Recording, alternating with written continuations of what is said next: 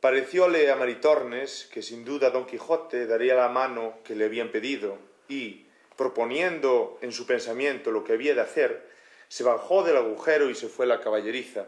donde tomó el cabestro del jumento de Sancho Panza y con mucha presteza se volvió a su agujero, a tiempo que don Quijote se había puesto de pies sobre la silla de Rocinante, por alcanzar a la ventana enrejada donde se imaginaba estar la ferida doncella, y al darle la mano dijo Tomad, señora, esa mano, o por mejor decir, ese verdugo de los malhechores del mundo.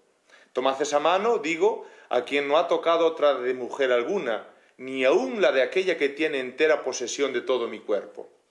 No os la doy para que la beséis, sino para que miréis la contextura de sus nervios, la trabazón de sus músculos, la anchura y capaciosidad de sus venas. ¿De dónde sacaréis que tal debe ser la fuerza del brazo que tal mano tiene? Ahora lo veremos, dijo Maritornes, y haciendo una lazada corrediza al cabestro, se la echó la muñeca y bajándose del agujero, ató lo que quedaba al cerrojo de la puerta del pajar muy fuertemente. Don Quijote, que sintió la aspereza del cordel en su muñeca, dijo Más parece que vuestra merced me raya que no me regala la mano. No la tratéis mal, pues ella no tiene la culpa del mal que mi voluntad os hace.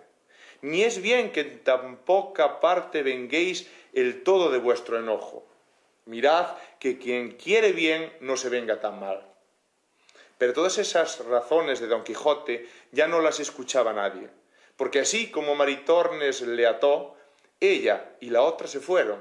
muertas de risa, y le dejaron asido de manera que fue imposible soltarse. Estaba, pues, como os he dicho, de pies sobre Rocinante, metido todo el brazo por el agujero y atado de la muñeca y al cerrojo de la puerta con grandísimo temor y cuidado que si Rocinante se desviaba a un cabo o a otro, había de quedar colgado del brazo, y así no osaba hacer movimiento alguno, puesto que de la paciencia y quietud de Rocinante bien se podía esperar que estaría sin moverse un siglo entero.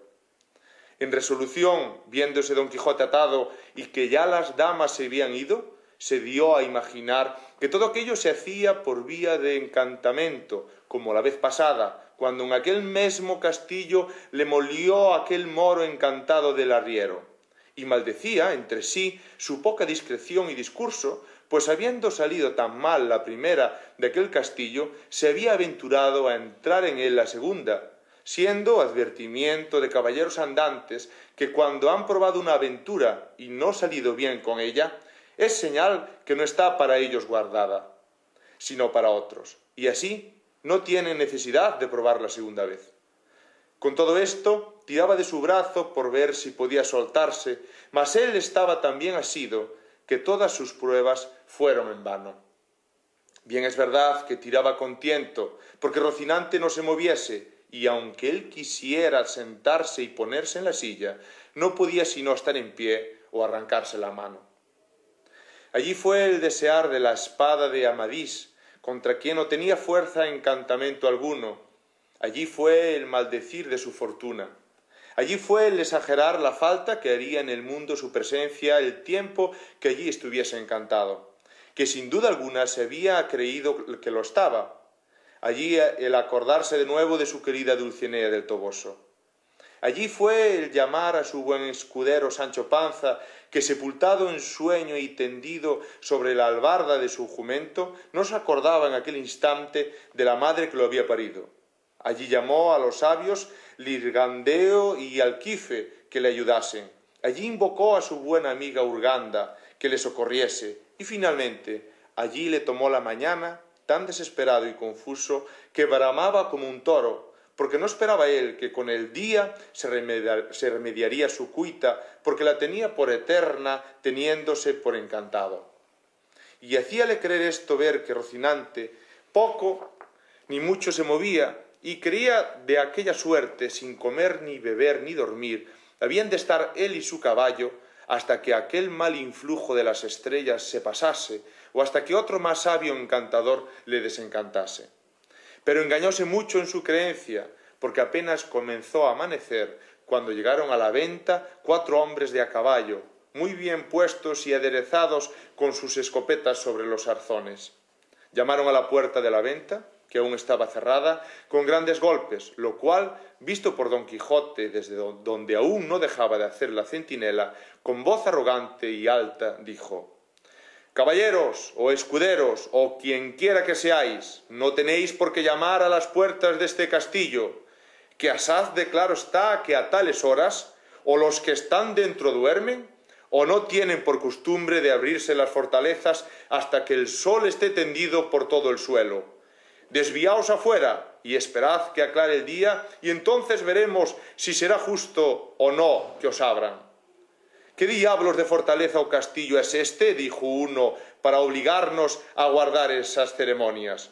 Si sois el ventero, mandad que nos abran, que somos caminantes, que no queremos más de dar cebada a nuestras cabalgaduras y pasar adelante porque vamos deprisa.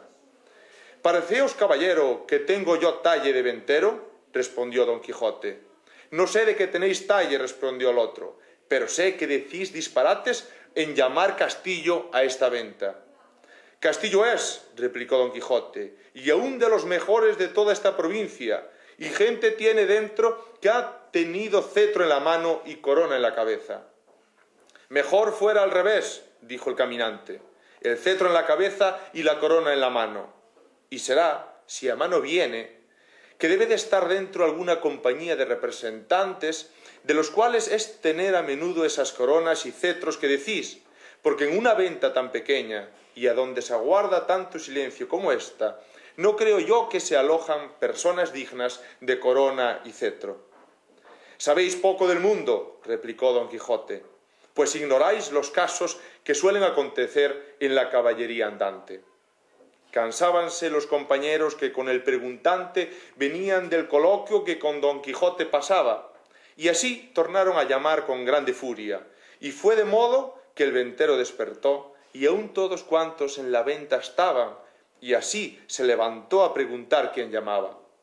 Sucedió en este tiempo que una de las cabalgaduras en que venían los cuatro que llamaban se llegó a oler a Rocinante, que melancólico y triste, con las orejas caídas, sostenía sin moverse a su estirado señor, y como en fin era de carne, aunque parecía de leño, no pudo dejar de resentirse y tornar a oler a quien le llegaba a hacer caricias. Y así no se hubo movido tanto cuanto cuando se desviaron los juntos pies de don Quijote y, resbalando de la silla, dieran con él en el suelo a no quedar colgado del brazo, cosa que le causó tanto dolor que creyó o que la muñeca le cortaba o que el brazo se le arrancaba. Porque él quedó tan cerca del suelo que con los extremos de las puntas de los pies besaba la tierra, que era en su perjuicio porque como sentía lo poco que le faltaba para poner las plantas en la tierra, fatigábase y estirábase cuanto podía para alcanzar al suelo, bien así como los que están en el tormento de la garrucha. Puestos a toca, no toca, que ellos mesmos son causa de acrecentar su dolor, con el ahínco que ponen en estirarse, engañados de la esperanza que se les representa, que con poco más que se estiren llegarán al suelo.